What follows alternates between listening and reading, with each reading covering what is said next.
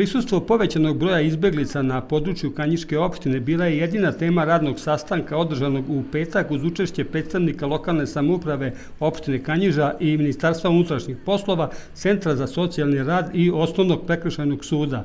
Ispred lokalne samuprave prisustovali su predsjednik i zamjenik predsjednika opštine dr. Mihalj Bimbo i Ervin Hužvar, pomoćnik predsjednika opštine Zoltan Šarnjaj i predsjednik Skupštine opštine Robert Slacko koji je zadužen za komunikaciju sa državnim organima.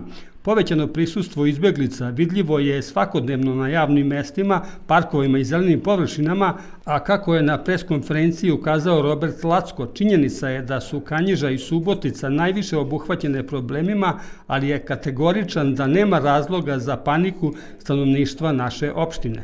Rešenje ovog problema nije u nadležnosti opštine, već Republičkog ministarstva, međutim lokalna samouprava zajedno sa opštinskom e, policijskom stanicom moraju preduzeti korake da se situacija ne bi pogoršala i to u interesu i u ime stanovnika opštine Kanjiža.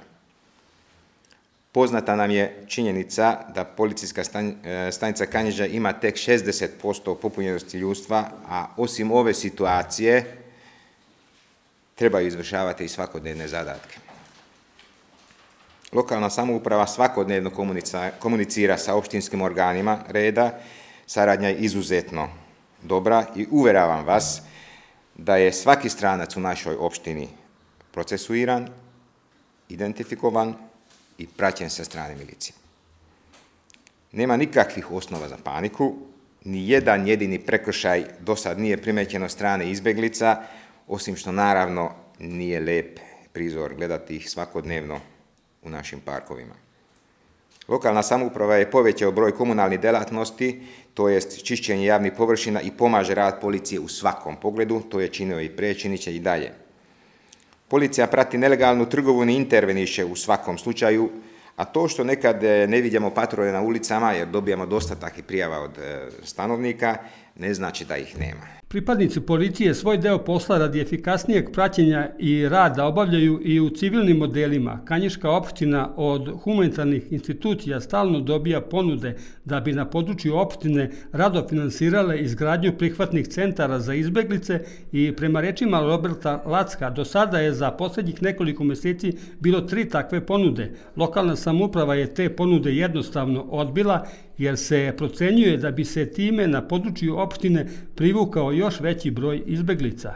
Tražimo povećanje ustva i tehnike u opštini, tražimo povećanje aktivnosti na ulazu u našu zemlju, znači e, tamo gde uglavnom najveći deo, a to je na makedonskoj granici, gde ulaze u prvom mahu te izbeglice i tražimo smanjenje povraćaja iz Mađarske preko readmisije, mada teško, mislim, jer eh, da ćemo tu nešto postići, zato što je to ipak jedan potpisan sporazum između dve zemlje, Srbije i Mađarske.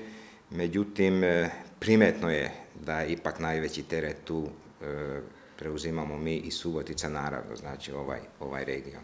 Svakodnevno u Kanjižu, sada već ustaljeno iz pravca Beograda, lastinim autobusom stiže 40 ljudi, a isto tako već je ustaljeno da u procesu readmisije iz Mađarske dnevno stiže 20 do 40 lica. Najčešće su to državljani Afganistana, Iraka, Irana, Sirije i drugih zemalja.